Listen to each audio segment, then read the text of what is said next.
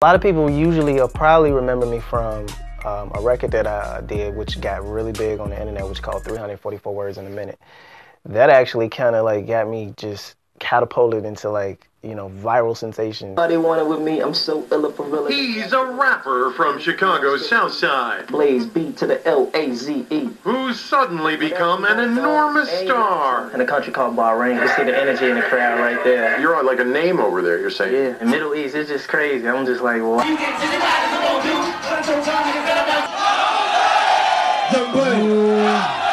I heard Young Blaze's music. I was actually inside of US Beer Company and basically sitting down wondering who is this guy getting on stage. But right when I heard him, it was just I was I was thrown away. I was breathtaking.